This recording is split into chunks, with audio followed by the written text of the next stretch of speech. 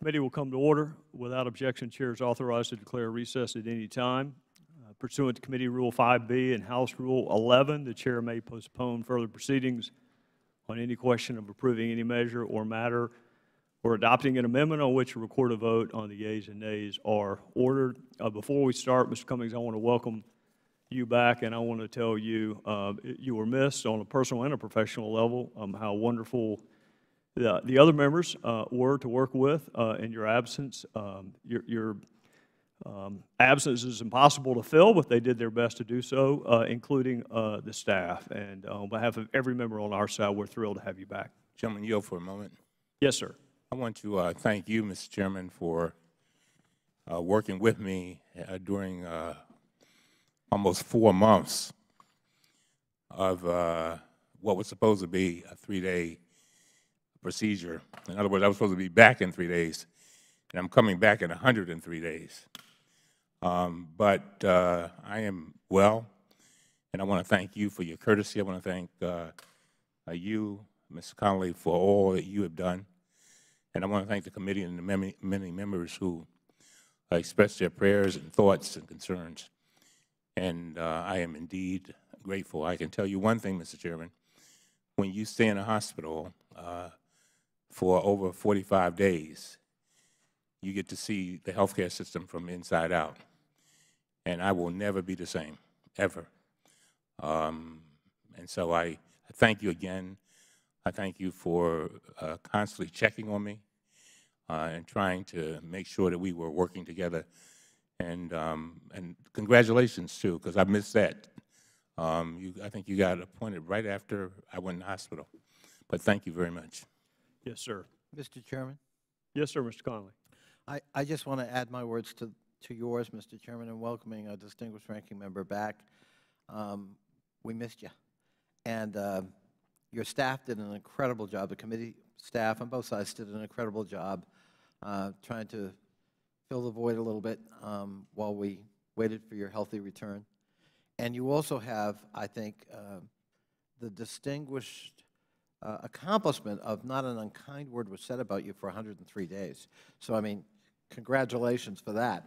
Uh, But uh, uh, we really missed you, and we're so glad you're back. Welcome back, Elijah.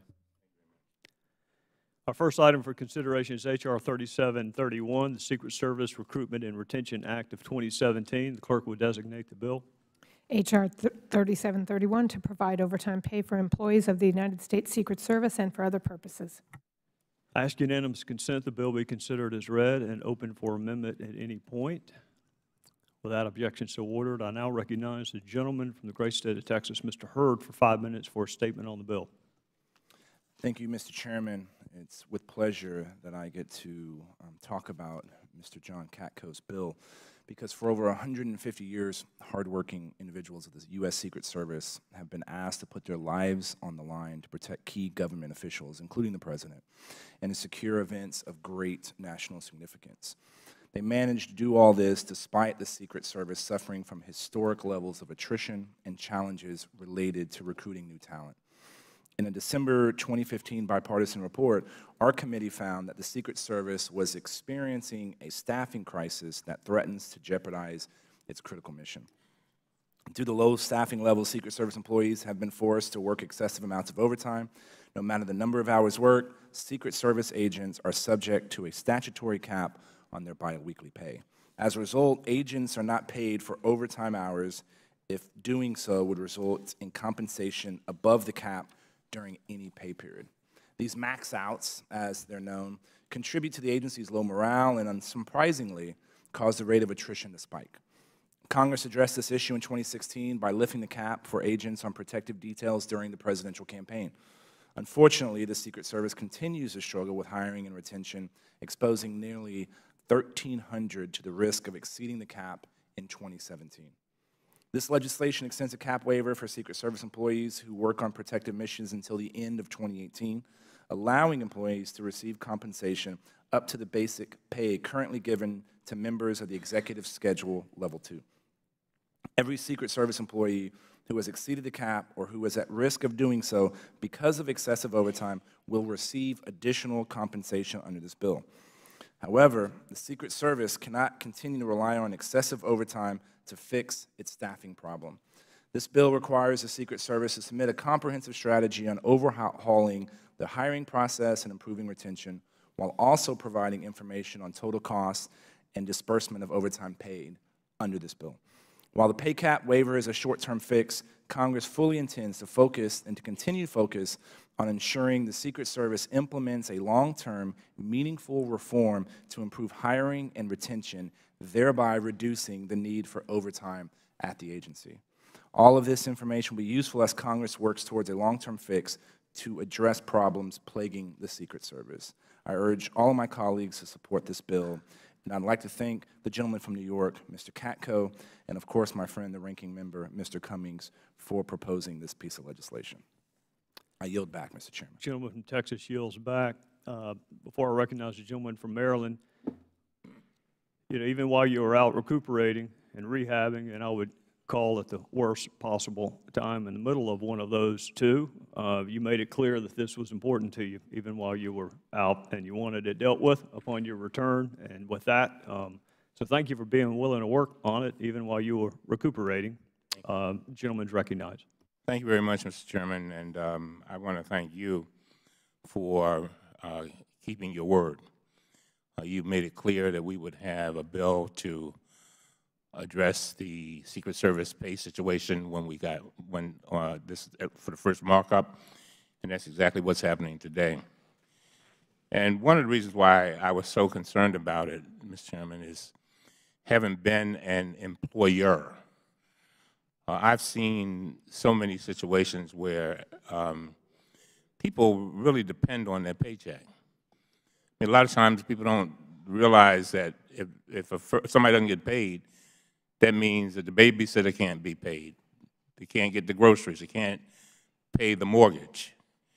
Uh, but in this instance, and I, I want to associate myself with every syllable that Mr. Hurd just stated, uh, it goes to something even deeper than that. Uh, in the Secret Service and other services, imagine uh, you work you're, you're hard and you, you come home, you tell your wife, look, uh, I got to work for Thanksgiving, I got to work on Christmas, and then you say, oh, by the way, I'm not going to get paid for the overtime. Um, that goes to morale. And I, I think it's very difficult to retain uh, any staff if you're not going to pay them. And I know that there's been a lot of controversy as to uh, what happens with regard to the many protectees uh, under our present president. But I've made it clear, I don't care who the president is. The Secret Service has to be paid. And so I'm very proud to be joining with my colleague, Representative Katko, in introducing this measure to help Secret Service agents receive the overtime pay that they earned and, in fact, they deserve. Our bill would authorize an increase in the annual salary and overtime limit up to level two of the executive schedule for the men and women of the Secret Service. This would allow them to be compensated for the considerable hours of overtime they have already worked in 2017 and will continue to work from now through 2018. Last year, this committee unanimously passed legislation that authorized overtime pay for the thousands of hours of overtime that Secret Service agents worked in 2016, in the 2016 presidential campaign year. This year, more than 1,000 Secret Service agents have already maxed out their pay limit, and we're just in September. They will not receive any additional overtime pay if Congress does not act. Recently, Secret Service Director Alles stated that due to the President's large family and frequent travel, it has no ability to address this issue by itself. It is clear that the demands on the Secret Service will continue to be extremely high for the foreseeable future. Congress has a responsibility to provide the support to the Secret Service that is needed. Our bill would allow the men and women of the Secret Service to be paid fairly for the hours they work. It would also help the agency effectively and efficiently recruit and retain the very best of the best. Mr. Chairman, I thank you uh, once again for your support on this bill. Uh, You have been, I mean, just a staunch advocate. And I also thank uh, your staff and for their assistance throughout the process. I want to thank my staff for all the work that they put into this. I also thank Representative Bonnie Coleman Watson, uh, Watson Coleman, and Eleanor, Eleanor Holmes Norton, who are uh, original co-sponsors of this bill, along with Representatives Michael McCaul, Bennie Thompson, John Ratcliffe, Sheila Jackson Lee, and Daniel Donovan. Finally, Mr. Chairman, I have two letters of support for this bill, one from the Federal Law Enforcement Officers Association and the other from the Senior Executives Association. I ask unanimous consent that they be entered into the record. Without objection, so ordered. And again, going back to what Mr. Hurd said, we've got to really, Mr. Chairman, we've got to really look at the Secret Service to make sure um, that, that, that we give them the kind of support they need, but we've got to get down to how do we retain uh, these, these uh, great men and women. And, I mean, just logic just tells you, if you're not going to be get, get paid, you're probably going to go somewhere else. And these, these people uh, can go almost to any agency because they are held in such high esteem. And with that, I yield back. The gentleman yields back. Does any other member wish to be heard? Gentlelady from New Jersey. Thank you, Mr. Chairman. Uh, First, I want to say welcome back to my ranking member, Mr. Cummings. It's so good to have you back. I want to thank Mr. Katko and my ranking member for introducing this important piece of legislation, and you, Chairman Gowdy, for your support. The Secret Service plays an incredibly important role in our government by keeping the president and his family, among others, safe. Unfortunately, in recent years, the Secret Service has been plagued by recruitment and retention problems fueled by morale challenges. In particular, since last year's presidential campaign, many agents have been forced to work extra hours without overtime pay because of the statutory cap on their compensation. While Congress passed a one-time fix late last year, the overtime pay cap has affected over 1,000 agents this year. As ranking member of the House Homeland Security Subcommittee on Transportation and Protective Security, I have seen the negative impact this cap has had on the ability of the Secret Service to do its vital job. We can't be surprised if agents look to leave the agency or if recruits are reluctant to join when we're asking them to work long hours without pay. For these reasons, I am an original co-sponsor of this bill and urge my colleagues to support it. However, this bill is only a short-term fix. With the current administration, it is clear that Secret Service agents will continue to be overworked and underpaid after this bill's provision expires. Therefore, I am particularly pleased with the requirement that the Secret Service report to Congress on their efforts to improve recruitment and retention, which should provide information that will help us address this problem on the long term.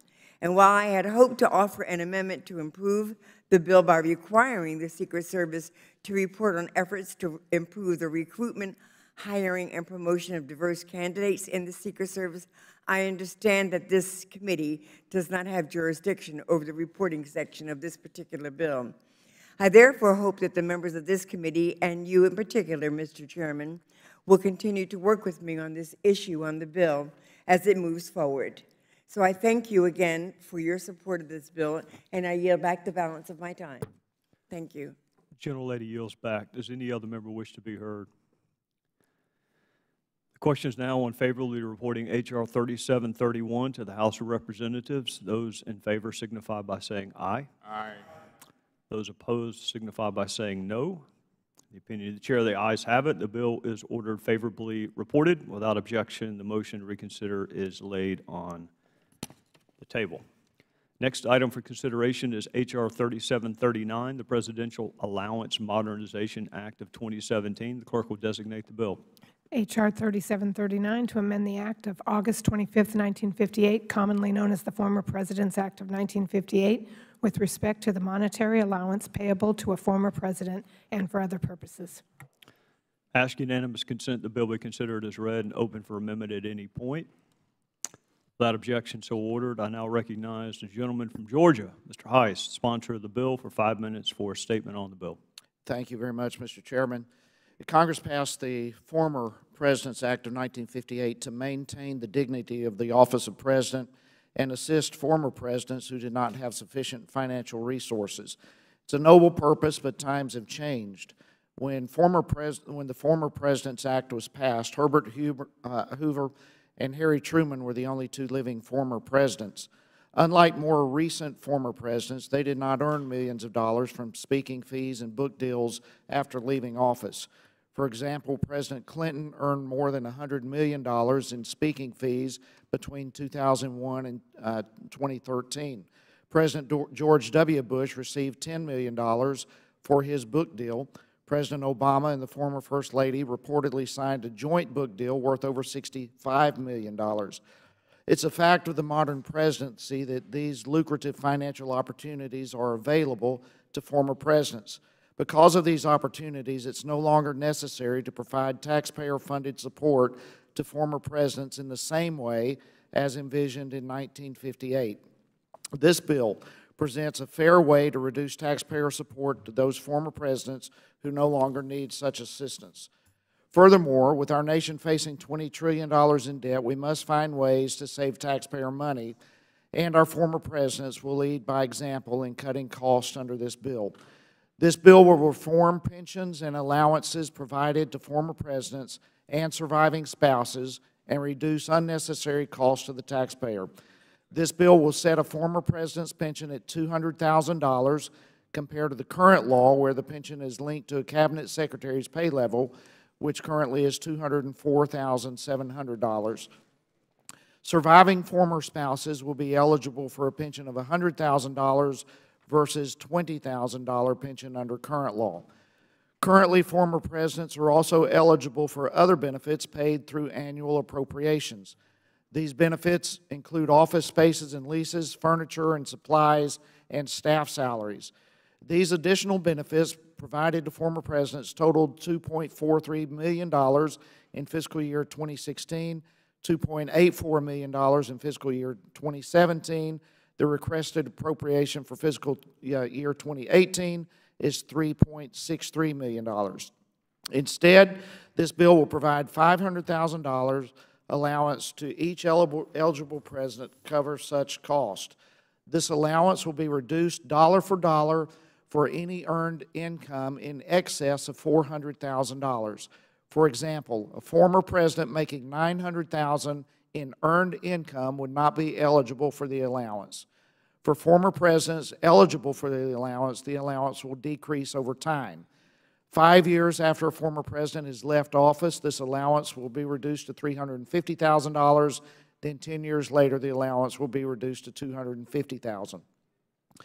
In the 114th Congress, the Presidential Allowance Modernization Act of 2016 was passed, but it was not signed into law. Senator Ernst and I have worked with relevant stakeholders to improve the bill in 2017. The 2017 bill advances the same principles of accountability and modernization as the 2016 legislation, but makes some key changes. First, the bill provides a six-month period after the date of enactment before the bill takes effect to ensure current former presidents have time for the changes. Second, the bill does increase the allowance amount from $200,000 in the previous bill language to $500,000 here.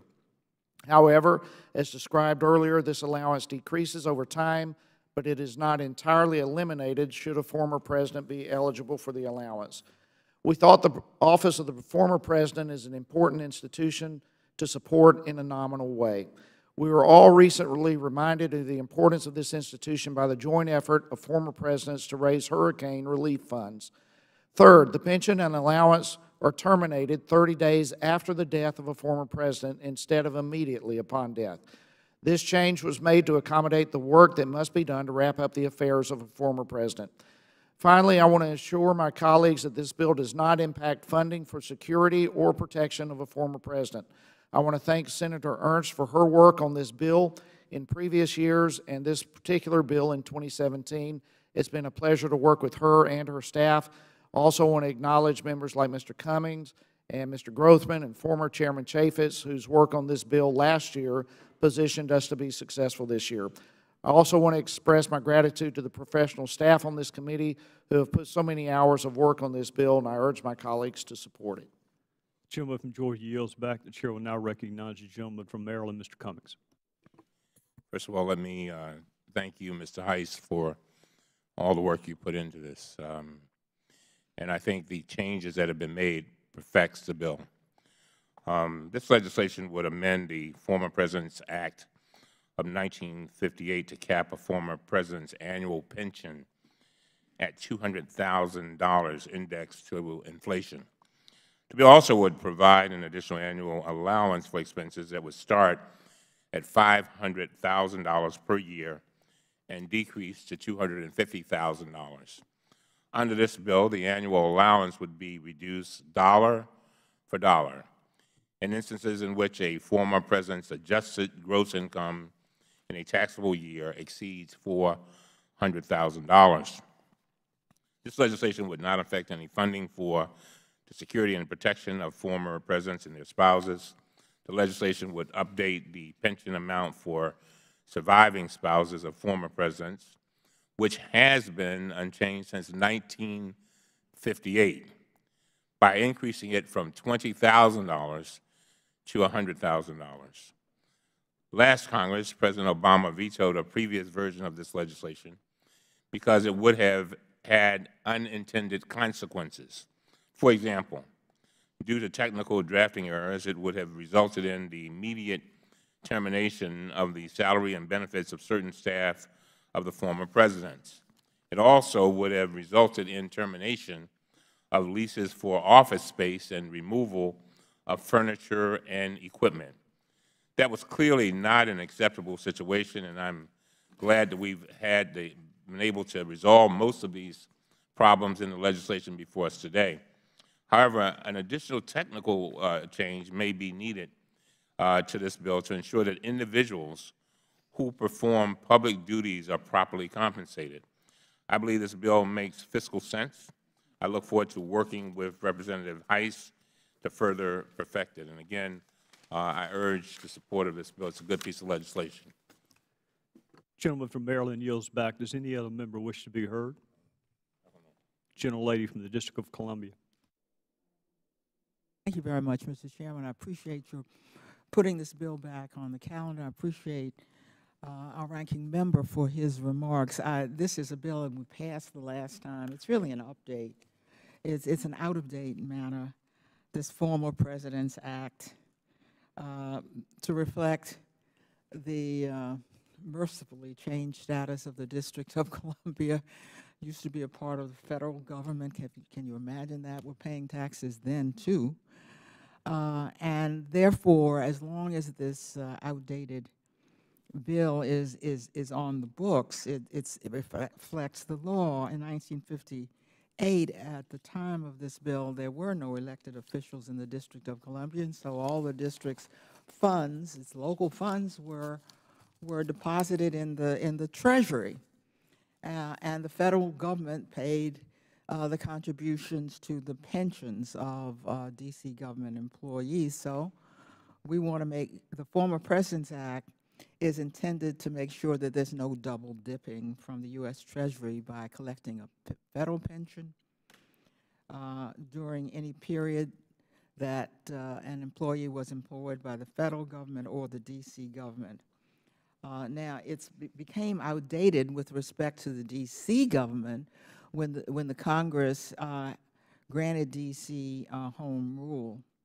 Uh, the Home Rule Act, um, uh, of course, uh, means that local taxes and fees are no longer deposited with the Federal Treasury, but in D.C. government accounts. This is kind of embarrassment to have this bill still on the books about double dipping when that's no longer possible. That's why I'm so grateful it was passed before I asked that it be passed again. I think this is the kind of bill that the next time our time to go on suspension should be placed uh, on suspension because it's uh, just that trivial.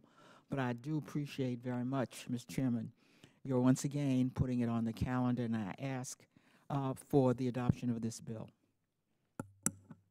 Gentlelady yields back. Do any other members wish to be heard?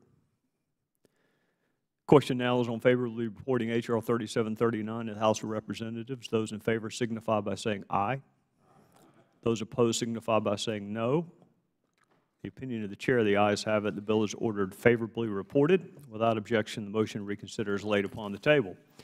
Next item for consideration is H.R. 3071, the Federal Acquisition Savings Act of 2017. The clerk will designate the bill.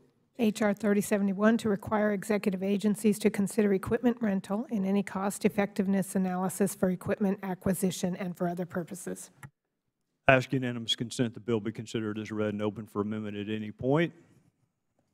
Without objection, so ordered. I now recognize the gentleman from Georgia, co-sponsor of the bill, Mr. Hice, for five minutes for a statement on the bill. Thank you, Mr. Chairman, and it's an honor to speak in behalf of my colleague from Georgia, Buddy Carter, uh, on this bill. The Gov- Government Accountability Office reported that agencies annually spend more than 200 billion on average purchasing or leasing equipment, with purchasing accounting for almost all of this spending.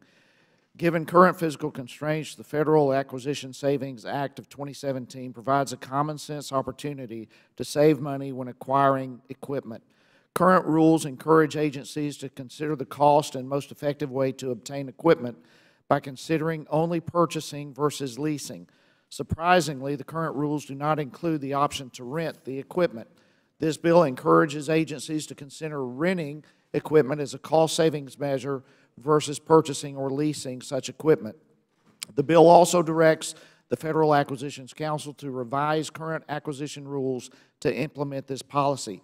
Renting equipment can provide a more cost-effective and flexible alternative to buying or even leasing. When purchasing equipment, the purchaser makes a long-term investment and assumes the total cost of ownership for that equipment. In some cases, this may be appropriate. However, there are short-term needs that can be met without assuming the cost of purchasing and maintaining equipment. In these cases, leasing is sometimes considered, but depending on an agency's needs, leasing may not be the best low-cost option relative to renting. Typically, there are defined leasing periods, and leases are specific to a piece of equipment. In addition, capital could be tied up in lease financing, and the cost of maintenance, insurance, and storage are the responsibility of the leasee, not the leaseor. Alternatively, equipment rental for a temporary period with no fixed duration may fit the need and provide a more cost-effective, flexible option.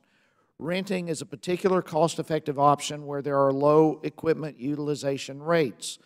One of the key cost savings benefits of renting equipment is that rental agreements typically cover the cost of ownership, including storage, maintenance, insurance, transport, and licensing. This bill seeks to encourage agencies to consider equipment renting option where appropriate. State and local governments have used the equipment rental option with great success, but the Federal Government has not widely adopted this low-cost option. For example, the Texas Department of Transportation has reported savings of $10.6 million due to the rental program. They reported renting more than 1,200 pieces of equipment at a cost of $18.9 million and purchasing 931 assets costing more than $40 million. The Mississippi Department of Transportation commissioned a study on their equipment management processes and systems and found that renting equipment, such as bulldozers and motor graders, to supplement their fleet was the most cost-effective option. In fact, the study found Mississippi could realize over $13,000 in annual cost savings and $180,000 in life cycle cost savings per bulldozer unit.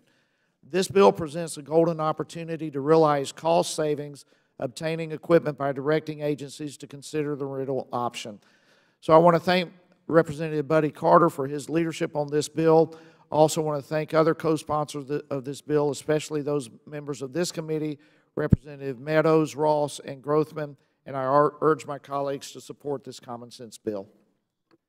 Gentleman from Georgia yields back. The chair will now recognize the gentleman from Maryland, Mr. Cummings. Thank you very much, Mr. Chairman. H.R. 3071, the Federal Acquisition Savings Act would require Federal contracting officers to consider short-term lease term rentals, uh, in addition to a long-term leasing or purchasing when acquiring equipment uh, agencies need. The Federal Acquisitions Regulation is currently unclear about whether short-term rentals are permitted. Bill, this bill would provide an additional flexibility by allowing such rentals and by requiring renting to be considered as an option. I support giving contracting officers additional tools to make the most cost-effective and efficient decisions. The bill also would require GAO to produce a report on the use of renting or leasing by Federal agencies. The requirements for that report seem very burdensome for GAO, and I would ask that before the bill moves to the floor, we examine the issue further. I know we all value GAO's work and want to make the best use of its resources. Uh, I will be voting in favor of this bill, and uh, perhaps that we can make uh, just some perfecting improvements. With that, I yield back. The gentleman from uh, Maryland yields back, and as I'm about to ask if any other members want to be heard, I see that Mr. Connolly would be one of those. The gentleman from Virginia. Thank you, Mr. Chairman. I uh, echo the sentiments of Mr. Hice and Mr. Cummings, and I'm happy to co-sponsor H.R. 3071, offered by our friend and colleague, Mr. Buddy Carter from Georgia. Currently, when agencies are seeking to acquire equipment, they're required to evaluate whether leasing or owning would be more cost-effective. Our bill would simply require agencies to factor in the cost of rentals when conducting this analysis. Equipment rentals may be more cost-effective for agencies, especially in instances where the duration of the rental is relatively short, or when certain equipment is not readily available at a specific location. One example where rentals may not only be more cost-effective but necessary is in the preparation for and aftermath of a natural disaster, such as FEMA and other Federal agencies' responses to Hurricanes Harvey and Irma. To prepare to respond to the hurricanes, FEMA needed to position equipment at certain locations so it could be, uh, they could be quickly deployed at the right moment. It may not make sense for FEMA to own or lease long-term equipment such as forklifts, excavators, or dump trucks that are intermittently used for a short yet critical period of time. During this time, renting may not only be more cost-effective, but would actually help FEMA increase its capacity to respond. So I think this is a good government bill. I'm pleased to co-sponsor it, and I urge its adoption. I yield back. Gentleman from Virginia yields back. Do any other members wish to be heard? The question is now on favorably reporting H.R. 3071 in the House of Representatives. Those in favor signify by saying aye. Those opposed by saying no. The opinion of the chair, the ayes have it. The bill is ordered favorably reported. Without objection, the motion to reconsider is laid on the table. Next item for consideration is H.R. 1701, the Eliminating Government-Funded Oil Painting Act. The clerk will designate the bill. H.R. 1701 to prohibit the use of Federal funds for the costs of painting portraits of officers and employees of the Federal Government. I ask unanimous consent the bill be considered as read and open for amendment at any point. Without objection so ordered, it is my understanding our friend from Pennsylvania and the sponsor of the bill, Mr. Cartwright, will offer an amendment in the nature of a substitute to the bill. The gentleman is recognized to call up his amendment. Uh, Thank you, uh, Chairman Gowdy. Uh, uh, We have a, uh, an amendment to cure uh, and make uh, technical corrections to the bill's codification. The clerk will designate the amendment. Amendment in the nature of a substitute to H.R. 1701 offered by Mr. Cartwright of Pennsylvania. Without objection, the amendment is considered as read. The gentleman from Pennsylvania is recognized for five minutes for a statement on the bill and his amendment. Thank you, Mr. Chairman. Chairman Gowdy, uh, Ranking Member Cummings, uh, welcome back. I want to thank you for holding this markup and including H.R. 1701, the Eliminating Government-Funded Oil Painting Act, or the EGO, the EGO Act. Uh, This bill is a bipartisan measure that would prohibit federal funds from being used to pay for portraits of officers and employees of federal government, uh, including the President, the Vice President, members of Congress, and the heads of federal agencies. Uh, The amendment in the nature of a substitute uh, simply makes technical corrections to the bill's codification. Congress owes a duty to taxpayers to spend federal funds in a way that is both effective and efficient, uh, while the costs associated with portraits obviously represent only a tiny portion of the federal budget. Every single dollar the government spends on these vanity projects is a dollar not spent forwarding the welfare of ordinary Americans. Uh, This bill is emblematic of a greater goal, obviously. Congress needs to prioritize saving taxpayer dollars. And the official portraits for the President, the First Lady, and certain members of Congress, uh, like committee chairs, Mr. Chairman, uh, currently are paid for by private funds. Uh, By prohibiting federal spending on official portraits, uh, this bill would prompt Congress uh, and federal agencies to embrace this same fiscally responsible approach of relying on private donations. Uh, Importantly, the bill would send a message to the American taxpayer that we will only spend their money on matters of national interest. I want to close by thanking our Senate sponsors of the EGO Act, Senators Ron Johnson, Bill Cassidy, and Claire McCaskill. Uh, Thank you, Mr. Chairman, for yielding, uh, and I do urge the committee to support this bill and its important message. Gentleman from Pennsylvania yields back. Uh, The chair will now recognize the gentleman from Oklahoma, Mr. Russell, for a statement on the bill and the amendment. Thank you, Mr. Chairman, and I'd like to thank my friend from Pennsylvania uh, for his work uh, in this effort. In the past, federal agencies were spending anywhere from twenty to fifty thousand dollars each on portraits of government workers. Collectively, uh, the federal government was spending hundreds of thousands of dollars each year on paintings. It, in the grand scheme of things, it may not seem like much, but we didn't get to twenty trillion dollars of debt uh, in one fell swoop. We got it through 20 and fifty thousand dollar non-essential spending attitudes over the years. In 2014, Congress did include a provision in appropriations bills to ban uh, agencies from using these taxpayer dollars, and what this will do in the nature of the substitute that's been submitted is make the ban permanent. If government officials need portraits of themselves, they can pay for it themselves. Taxpayers should not foot the bill. This is a good bipartisan piece of legislation. I'm honored uh, to include my name with it, and I ask that Republicans and Democrats alike agree that taxpayer dollars should not be used for this purpose. And I urge my colleagues to support the amendment in the nature of a substitute and the underlying legislation. I yield back, Mr. Chairman. The gentleman from Oklahoma yields back. Does any other member wish to be heard? The Gentleman from North Carolina, Mr. Meadows. Uh, Thank you, Mr. Chairman. I I- thank uh, the gentleman from Pennsylvania for working on this. I guess my question is this, is, is there anything that would preclude uh, substantial contributions being made if the chairman wanted a portrait of himself uh, put up on the wall? Uh, I wanted just to to verify and clarify that. Will the, will the member yield so, so I can answer the question? Sure. Uh, This bill ha- uh, has no application to the currently planned equestrian statue of Chairman Gowdy.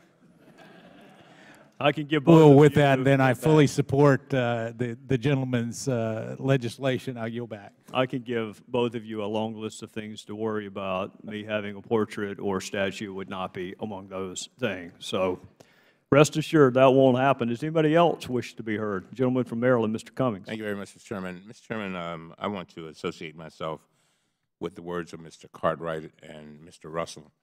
Um, I think this is a, a good bill, and I urge our members to support it. Gentleman from Maryland yields back. Any other member wish to be heard? The question is now on the amendment of the nature of the substitute. All those in favor signify by saying aye. Those opposed signify by saying no. The opinion of the chair, the ayes have it. The amendment is agreed to. The question is now on favorably reporting H.R. 1701 as amended to the House of Representatives. Those in favor signify by saying aye. Those opposed, no.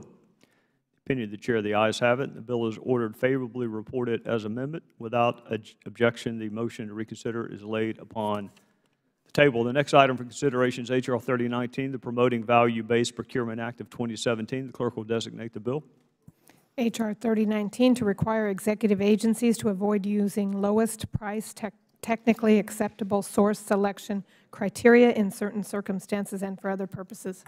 Ask unanimous consent the bill be considered as read and open for amendment at any point. Without objections to order, I now recognize the chairman of the Subcommittee on Government Affairs and sponsor of the bill, the gentleman from North Carolina, Mr. Meadows, for five minutes for a statement on the bill. Thank you, Mr. Chairman, uh, and thank you for your willingness to uh, mark up this particular piece of legislation. I'll be very brief. Uh, This is a common sense uh, bill that actually uh, has bipartisan support. I want to thank uh, my good friend, uh, Representative uh, Gerry Connolly, who uh, I understand will be offering an amendment in the nature of a substitute, which I fully and totally support. Uh, And in doing that, uh, the other co-sponsors, obviously, Don Beyers from Virginia and Rob Whitman from Virginia.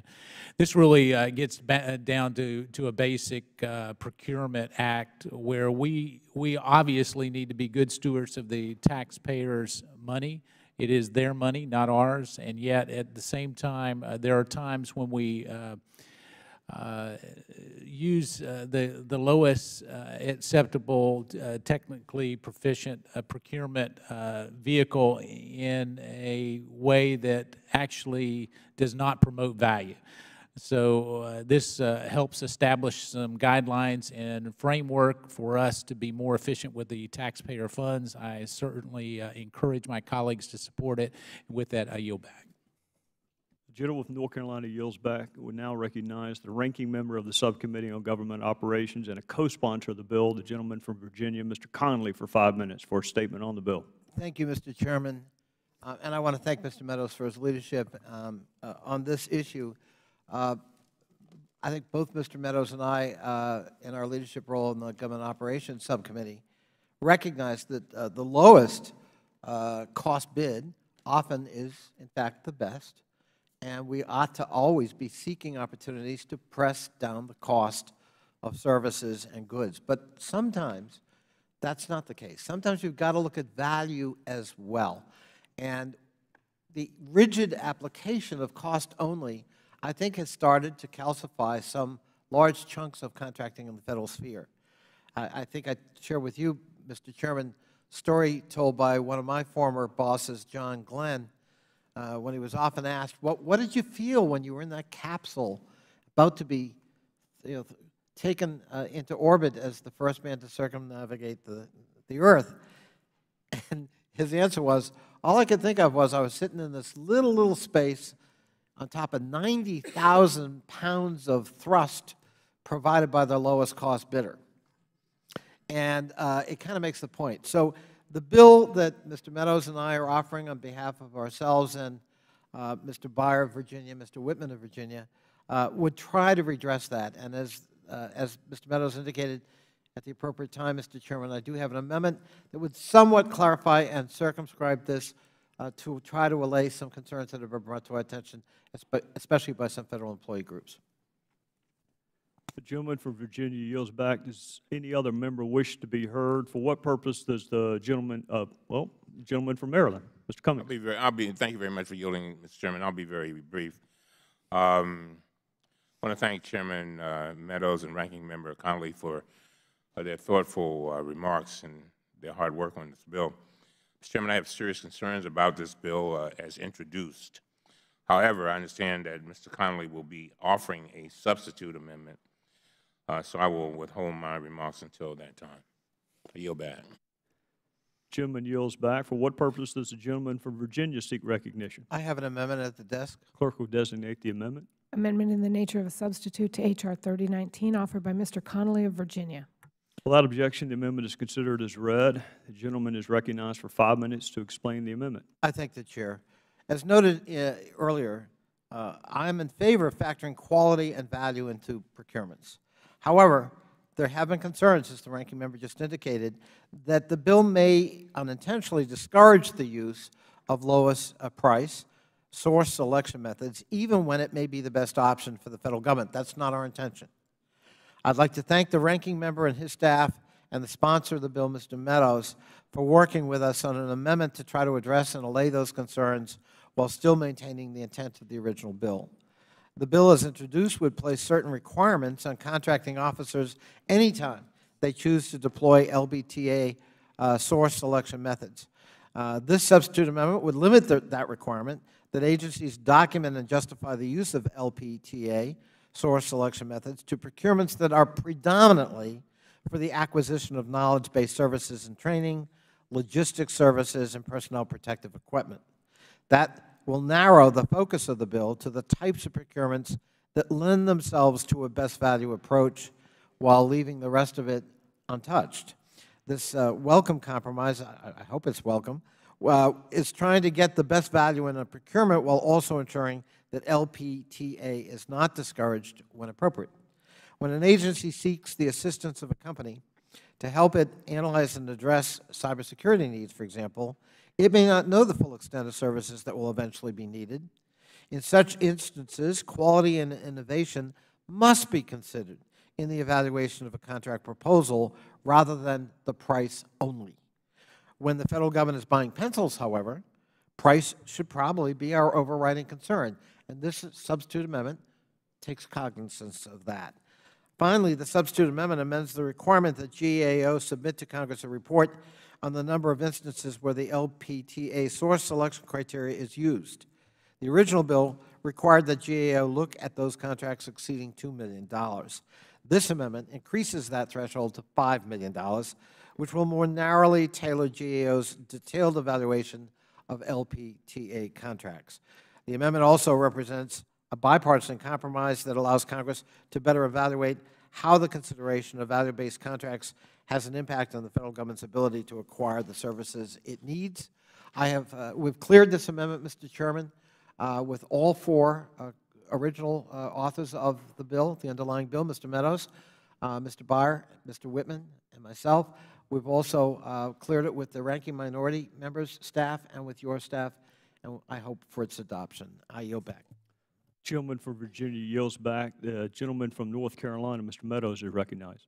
Thank you, Mr. Chairman. I, I thank the gentleman from Virginia for his leadership and, and the amendment and the nature of a substitute, and certainly for the clarifying language that gets at the, the intent of what uh, really good governance is all about. I thank the ranking member, uh, Mr. Cummings, the gentleman from Maryland, uh, for his input as well. And I welcome him back. Uh, it uh, truly uh, is, uh, I can honestly say I've been praying for him and his recovery for many, many days, and it's good to have him back. And, and with that, I fully urge my colleagues to support the amendment in the nature of substitute. I yield back. The gentleman from North Carolina yields back. The question is now on the amendment in the nature of a substitute. Are those in favor signify by saying aye. Aye. Those opposed signify by saying no. Opinion of the chair, the ayes have it. The amendment is agreed to. The question is now on favorably reporting H.R. 3019 as amendment to the House of Representatives. Those in favor signify by saying aye. Aye. Those opposed by signify by saying no. Opinion of the chair, the ayes have it. The bill is ordered favorably reported as amended. Without objection, the motion to reconsider is laid upon the table. The next item for consideration is H.R. 3737, the Social Media Use and Clearance Investigations Act of 2017. The clerk will designate the bill. H.R. 3737 to provide for a study of the use of social media in security clearance investigations. I ask unanimous consent the bill be considered as read and open for amendment at any point. Without objection, so ordered. I now recognize the chair of the Subcommittee on National Security and the sponsor of the bill, the gentleman from Florida, Mr. DeSantis, for five minutes for a statement on the bill. Thank you, Mr. Chairman. You know, millions of Americans will use a simple Google search to find social media information on a prospective hire for a company or somebody they're going on a date with, but our Federal Government still does not check publicly available social media for all security clearance applicants. And social media has emerged as one of the best ways to understand an individual's interests and activities, but security clearance investigations still focus far more attention on things like interviewing neighbors, on May 12, 2016, the day before an OGR hearing on the subject, the Office of Director of National Intelligence issued a new policy permitting the use of publicly available social media information in security clearance investigations. Despite that legal clearance, though, most security clearance investigations still do not involve a social media check. Various Federal entities have studied the potential for social media information in background investigations for at least a decade. NSA, the Army, OPM, and others have conducted pilot programs on the effectiveness of social media checks. It's not clear what use has been made of the data from these programs or whether the programs can be expanded to cover more applicants. This bill is a first step toward implementing a simple check of publicly available social media for the individuals we trust with our nation's most sensitive information. The bill requires the Office of Management and Budget to evaluate the pilot programs conducted to date and estimate the cost of wider implementation of publicly available social media checks.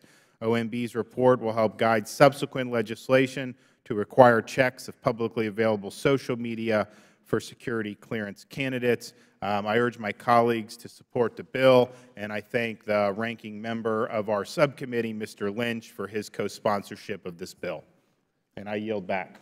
Gentleman from Florida yields back. The gentleman from Maryland is recognized. Mr. Chairman, uh, I support the Social Media Use and Clearance Investigations Act, a bipartisan bill that was introduced by uh, Congressman DeSantis and uh, Lynch. This bill would require the Director of the Office of Management and Budget to issue a report to Congress on the use of social media checks and background investigations for security clearances. Over the past six years, different agencies have begun uh, pilot programs to help develop the best methods for incorporating social media into background checks. For example, the Army initiated uh, a pilot program that found that while uh, checking social media is a valuable tool, it can be costly and raise uh, legal issues. Uh, this bill would require that OMB conduct a comprehensive uh, study on these issues and report back to the Congress. I believe this report would greatly assist Congress in determining whether further legislative action is needed when it comes to the Federal Government's use of social media and background investigations. And with that, I urge uh, the adoption of this uh, bill. Gentleman from Maryland yields back. Does any other member wish to be heard? Question is now on favor- favorably reporting H.R. 3737 in the House of Representatives. Those in favor signify by saying aye. Aye. Those opposed signify by saying no. The opinion of the Chair, the ayes have it, and the bill is ordered favorably reported. Without objection, the motion to reconsider is laid upon the table. Next item for consideration is H.R. 2331, the Connected Government Act. The clerk will designate the bill. H.R. 2331 to require a new or updated federal website that is intended for use by the public to be mobile-friendly and for other purposes. Ask unanimous consent the bill be considered uh, as read and open for amendment at any point. Without objection, so ordered. It is my understanding the ranking member of the Subcommittee on Information Technology and the sponsor of the bill, Ms. Kelly, will offer an amendment in the nature of a substitute to the bill. The gentlewoman is recognized to call up her amendment. Thank you, Mr. Chair, and I too want to welcome back Ranking Members Cummings. I also want to thank my wonderful friend, Mr. Meadows, Chairman of the Government Operations Subcommittee for co-sponsoring this bill, the Connected Government Act. My bill takes a simple but important step to make sure that all Americans can stay in touch with their government. My bill simply requires that any new or updated federal website must be mobile-friendly, something that's nearly universal in the 2017 business environment. For millions of Americans without access to reliable broadband or without a desktop computer, smartphones have become their doorway to the Internet. A recent Pew report found that if you are a younger American, lower income American, rural American, or a minority, you are more likely to rely on smartphones. But according to a report by the Information Technology and Innovation Foundation, more than 40 percent of government websites are incompatible with smartphones, including FAFSA and the entry point to bid on government contracts. It is 2017. We just celebrated the 10-year anniversary of the iPhone. It is simply unacceptable that any federal website cannot be viewed or easily navigated on a smartphone. Americans deserve a modern government that is accessible and responsible to their needs. Recently, Hurricanes Harvey and Irma showed that smartphones were vital lifelines to rescue, in areas without power, people are still depending on their smartphones to remain connected. Imagine the frustration of navigating the SBA, FEMA, or HUD websites on a five-inch screen searching for immediate assistance in the aftermath of these storms. My bill makes it easier for Americans to connect with their government. My amendment in the nature of a substitute makes a technical change to the reporting requirements under the bill. It would have OMB and GSA report to Congress on the implementation of this act and would make the report available publicly. This amendment ensures that our committee and all members are up to date on this simple effort to make government work. I urge my colleagues to support this bill and excuse my voice. I have a cold. I yield back. Gentlelady yields back. The clerk will designate the amendment. Amendment in the nature of a substitute to H.R. 2331 offered by Ms. Kelly of Illinois. Without objection, the amendment is considered as read, and the uh, eloquent words just used by Ms. Kelly will be reflected uh, in connection also with the amendment in the nature of a substitute. And the gentleman from North Carolina is now recognized. Uh, Thank you, Mr. Chairman. I would like to thank the uh, gentlewoman from Illinois uh, for her leadership on this particular issue. And she's, she's exactly right. We can find all kinds of things on the internet, and uh, certainly the OMB and uh, our good friend Director Mulvaney would uh, certainly support the codification of, of this and making sure that it's mo- mobile friendly. But when I can take my iPhone out and get a picture of the sponsor of this particular legislation very easily, uh, shouldn't we be able to do the same thing on every single government website? Uh, This is a common sense bill that we should support. I wholeheartedly uh, uh, thank the, the uh, gentlewoman from Illinois for her leadership and urge my colleagues to support uh, the amendment in the nature of a substitute and underlying bill. The gentleman from North Carolina yields back. Does any other member wish to be heard? Yes, Mr. Chairman. Uh, Gentleman from Maryland. First of all, Mr. Chairman, let me uh, say that uh, I also, I, I want to express my appreciation for all that we're doing today in a bipartisan way. Um, Mr. Meadows told me a while back um, that he's going to do everything in his power to show America that uh, we can agree on things and get things done. And I think we have seen a series of bills today, uh, and this one included, where it is true bipartisanship. We may disagree on a lot, but the things that we can agree on, I think it's very important that the American people see us and feel us doing their business. And so I, I want to thank you, Mr. Chairman, for, you know, what you've done. I remember one of the things that you said is that you wanted agreement on the Secret Service bill, for example. Well, we weren't going to bring it up. We're going to get agreement. And I thank you. But that being said, uh, for many people, their cell phones are their connection to the world. According to the Pew Research Center, 95 percent of Americans own a cell phone of some kind, with an increasing number of people relying on smartphones. This is especially true for younger, rural, or lower-income Americans who use their smartphones to browse the Internet. This bill would acknowledge that reality and seek to ensure that all Federal agency websites are mobile-friendly. Making Federal websites mobile-friendly would make the government more transparent and accessible to a larger proportion of the American public. The Connected Government Act, introduced by uh, my colleague, Representative Kelly, is a simple step towards making government work for everyone. I urge my colleagues to support this bill, and I want to thank you. And to Mr. Meadows, I want to thank you for your prayers. As my mother, who's 91 years old and a Pentecostal minister, minister would say, said, boy, the Lord's been working overtime for you. And so thank you very much, and with that, I yield back. Gentleman from Maryland yields back. Does any other member wish to be heard? Question is now on the amendment of the nation to substitute. All those in favor signify by saying aye. Aye. Those opposed signify by saying no. Opinion of the chair, the ayes have it. The amendment is agreed to. The question is now on favorably to reporting H.R. 2331 as amend, as amended to the House of Representatives. Those in favor signify by saying aye. aye. Those opposed signify by saying no. Opinion of the chair, of the ayes have it, the bill is ordered favorably reported as amended. Without objection, the motion to reconsider is laid upon the table. The committee will now consider postal naming bills. Um, and again, uh, I want to thank Mr. Cummings and his folks for working with uh, Mr. Meadows and everyone on our staff for being able to uh, get us to a point where we can consider postal bills. Um, again, uh, H.R. 294, H.R. 452, H.R. 606, H.R. 1207, H.R. 1208, H.R. 1209, H.R. 1210, H.R. 1211, H.R. 1858, H.R. 1950, H.R. 2254, H.R. 2302, H.R. 2464, H.R. 2815, H.R. 2873, H.R. 3109, H.R. 3230, and H.R. 3369 can be considered in block. I ask unanimous consent these bills be ordered favorably reported to the House of Representatives. Without objection, so ordered.